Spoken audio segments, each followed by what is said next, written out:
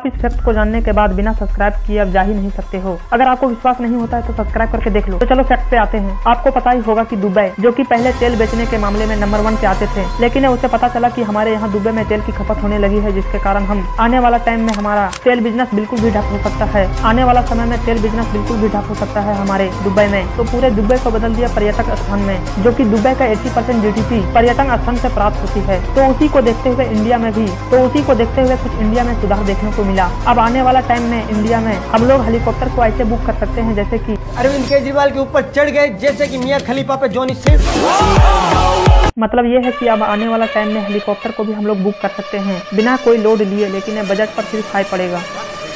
हाल ही में इंडिया में पर्यटक विभाग के कैबिनेट को एक प्रस्ताव भेजा है, जिसके द्वारा अब पर्यटक, जिसके द्वारा अब उत्तर प्रदेश में, उत्तर प्रदेश में गोवर्धन परिक्रमा से ताजमहल को, ताजमहल का बर्मन अब हेलीकॉप्टर के ज़रिए किया जा सकता है। जैसे कि पहले हम लोग ताजमहल को सिर्फ़ नीचे से ही देखते थे, लेकिन आसमान से नहीं देखते थे। इंडिया में बहुत कम ही लोग देखे हैं ताजमहल को ऊपर से, लेकिन अब आने वाला टाइम में हम लोग ताजमहल को ऊपर से भी देख सकते हैं। अभी सरकार कुछ ऐसे पर्यटक पर्यटक में सुधार कर रहे हैं, जिसकी बुकिंग हेलीकॉप्टर टैक्सी ऐप पर होगी। आगरा से मधुरा तक हेलीकॉप्टर पर्यटन करेंगे। ये आने वाला टाइम में 2023-24 में ये हो जाएगा। गूगल ने अबू धाबी रेगिस्तान में एक ऊँट को हायर कर लिया है और उस ऊँट का नाम है रफिया। और इस चेक में और अच्छा बात क्या मालूम है? चोली के पीछे क्या है चोली के पीछे दो लड़के एक लड़का तो गेम खेल रहा है और दूसरा.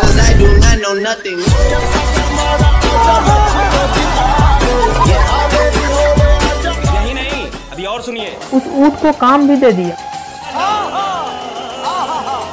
गूगल ने इस ऊँट को इसलिए हायर किया क्योंकि या बोलूँ कि अबू धाबी पर कोई भी अच्छा व्यू नहीं आता था। वहाँ पे कोई भी मैप ऊप का अच्छा नज़र, नज़ारा नहीं मिलता अरे क्या बोलते हैं अच्छा नज़ारा नहीं मिलता था। जिसके कारण गूगल ने एक ऊँट को ही हायर कर लिया और उसको हायर करने के बाद अबू धाबी पर अच्छी व्यू आएँगे और उस ऊँट के पीठ पर सेटेलाइट लगा दिया, जिसके कारण हमें अच्छे नज़ारे मिलेंगे देखने के लिए। एक रिसर्च के अनुसार करोड़ों साल पहले मैं उस समय का बात कर रहा हूँ जिस समय पे, जिस समय पे डायनासोर एग्जिस्ट करते थे, उस समय पर पृथ्वी पर एक दस किलो का बहुत विशाल एस्ट्रॉइड गिरा था। उस एस्ट्रॉइड का नाम चक्सलेवक्रेटा दिया गया है।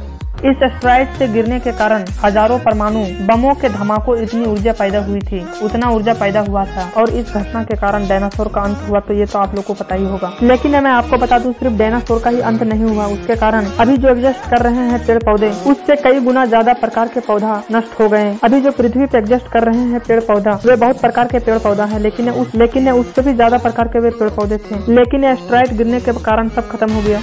मैं आपको बता दूँ की इस फैक्ट को जानने के बाद आप आप एक बार गूगल को ज़रूर देखेंगे। मैं अगर आपसे ये पूछूँ कि गूगल का पहला नाम क्या था अभी जो आप गूगल जान रहे हैं वे सेकंड हैंड नाम है लेकिन फ़र्स्ट हैंड नाम क्या था जो कि क्रोम गूगल का पहला नाम क्या था तो मैं आपको बता दूँ गूगल पहले बेकरप के नाम से जाना जाता था लेकिन उन्नीस सौ छियानवे में इसे गूगल का नाम दिया गया। इससे पहले हमें गूगल बेकअप के नाम से जाना जाता था जो कि बहुत कम ही लोगों को पता होगा। इस फैक्ट को सुनने के बाद आपको मज़ा आ जाएगा।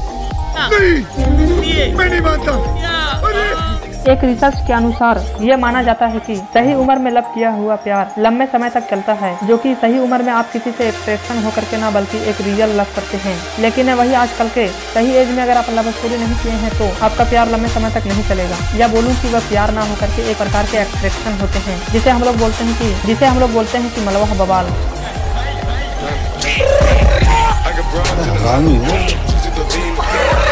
बाबा जी एक सवाल पूछूँ? यही पूछोगे कि खेतों में ले चलूँ? ये प्यार इश्क मोहब्बत क्या चीज़ होती है? कुछ नहीं पगली ये सब अमीरों के फ्री में मज़े लेने के चौचले हैं समझ रहे हो? बाबा जी ये प्यार करना पड़ता है या हो जाता है? देखो बेटा ऐसा है लड़की खूबसूरत हो और स्कूटी पर हो तो प्यार हो जाता है। और जबकि लड़की बदसूरत हो और मर्सडीज पे हो तो प्यार झक मार के करना ही पड़ता है।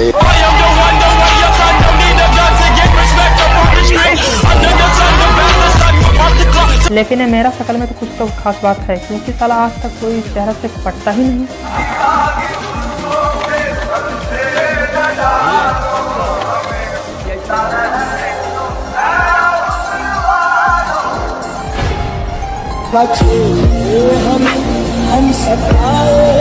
लेकिन साला मेरे से छोटे छोटे का कुछ ऐसा है।